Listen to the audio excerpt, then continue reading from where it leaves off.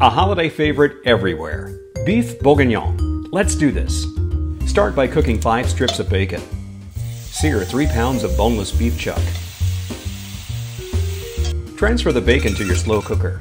Next, the seared beef. Add a cup of red wine. One for yourself. Add minced garlic and tomato paste. Soy sauce. 2 cups of beef stock. Diced white onion. Sliced carrots. Pearl onions. Another cup of red wine. Your seasonings, including fresh thyme. Stir that bad boy up. And if you like them, add a pound of sauteed mushrooms. After 8 hours, it's ready. Serve with truffle mashed potatoes. Spoon your beef bourguignon over the potatoes. Garnish with fresh thyme and enjoy.